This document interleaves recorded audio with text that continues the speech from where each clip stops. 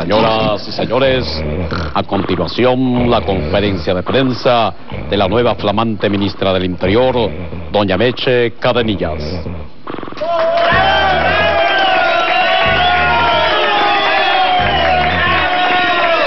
Muchas gracias. Muchas gracias. Y he venido solamente acá a este ministerio para decirles que se acabó la indisciplina. Se acabó la vagancia.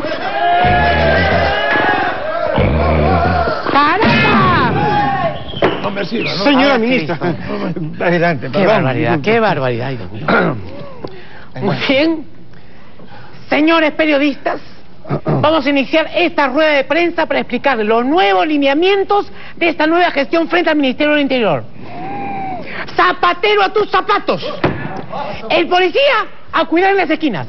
El policía a patrullar las calles. El policía a combatir la delincuencia. Muy bien. El policía a perseguir a los pandilleros. Muy bien, muy bien, El policía a perseguir a los microcomercializadores. El policía a perseguir a los pirañas. El policía a perseguir a los marcas. El policía a perseguir a los burriers. A los secuestradores. ¿Me estoy olvidando de alguien? Sí, a los congresistas. Muy bien. A los congresistas. ¿Qué hacen? ¡Caramba! ¿Qué es esto? Disculpe, señora ministra. Bueno, no me haga equivocar, por favor. Queremos recuperar la buena imagen que tenía la Policía Nacional del Perú. Llegó Margaret Thatcher del partido, la dama de hierro. La policía es vida que cuida tu vida. La policía se le respeta. Es, es. Respeta. El policía es tu amigo. El honor es su divisa. Y el lema que caracteriza a nuestra gloriosa Policía Nacional es... Yo, Platy Lake. Dios Platile. ¿Cómo, ¿Cómo que, ¿Cómo que Dios Platile? ¿No es. Dios Patriley? ¿Qué está pensando usted? Disculpe, por favor, hoy día tengo una batida. ¿Cómo que una batida? ¡Caramba! No, que usted como ministra es una mujer muy combatida. Ah, sí, sí, sí. Muy bien. Muy bien. Muy bien. ¿Cómo que combatida? ¿No será combativa?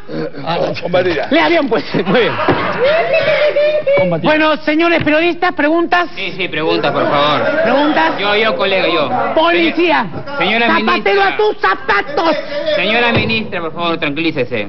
¿Cuál fue el motivo de la renuncia del anterior ministro Erniani? Ah, el el hígado. Bueno, como su mismo nombre lo indica, el ex ministro Erniani tenía una hernia que no le dejaba trabajar. Así es, Erniani. ¿Y podría decirnos dónde tenía la hernia? Bueno, por respeto a su investidura, no puedo revelar la ubicación de la hernia. Lo que sí les puedo decir es que el general no se podía sentar. Ah, o sea que, o sea que la N la tenía en el... ¡Caramba, general! Perdón, perdón, perdón. Una más, una más y le doy de baja. Perdón, perdón. Muy bien, zapatero a tus zapatos. Señora ministra, Seguido, otra siguiente pregunta, pregunta. por favor. Ya que usted ha decidido que regresen los policías a, las- a cuidar las calles, Ajá. ¿Quién se va a encargar ahora de hacer las investigaciones? Bueno, he decidido este, contar con un equipo de gente especializada que tiene bastante experiencia en estos menesteres. Tenemos que dejarle esto en manos de profesionales, zapateros con zapatos. ¿Sí o no? Los zapatos que se mueven.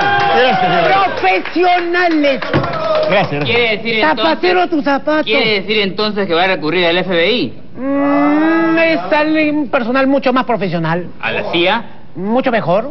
¿A Fuerza Delta? Mm, tampoco, son muchísimo mejores. ¿La KGB? Tampoco, son mucho mejores que estos. Bueno, entonces, ¿quién, ¿a quién va a recurrir? A los urracos de Mascali TV. Así que, si tiene una emergencia a partir de hoy, ya no llamen al 105, sino al 442-1210, el chimefono de Mascali. Y en quechua, Llaqtamasikuna, kunamantaqa wahamunkichis tawa, tawa, iskay, huk, iskay, huk, cero. Ama kunqankichisto, tawa, tawa, iskay, huk, iskay, huk, cero. gracias mamita, gracias mina del sol. Thank you so much. Ay, yo le dije, yo en este ministerio, el ministerio va a cambiar por fin. Soy Margaret Thatcher, la dama de hierro en la policía. Sí, sí, sí. Señora ministra, otra Siguiente pregunta, pregunta. por favor. ¿Cuál fue su decisión final sobre el caso del policía que se estrelló borracho con su vehículo? Bueno, excelente No, pregunta. no sabíamos si sí, no sé. Zapatero tu zapato, la Policía Nacional. Bueno, yo ya había, le había dado de baja, pero él se ha mostrado arrepentido. He ha pedido perdón a la institución y por lo tanto he decidido darle una nueva oportunidad bajo la firme promesa de no volver a tomar una sola gota de licor. Ah, bueno, Muy bien. Ni volver a manejar un auto en lo que le queda de vida. Muy bien. ¿Me parece muy bien? Es más, mm, en estos momentos ya tendría que estar acá. ¿Qué habrá pasado conmigo?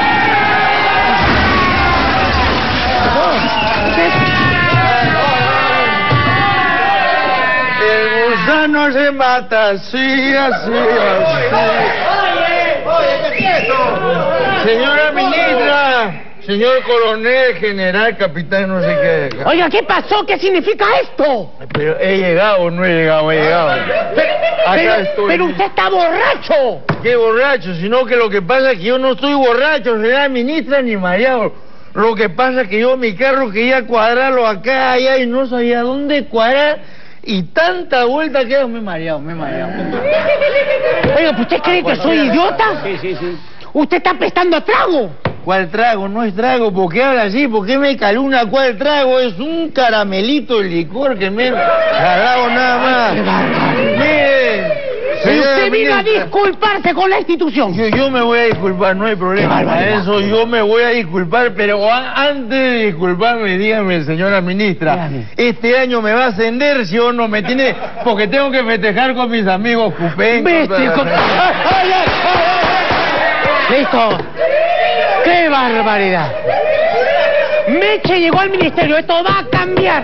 La dama de hierro, zapatero a sus zapatos. Muy bien, muy bien.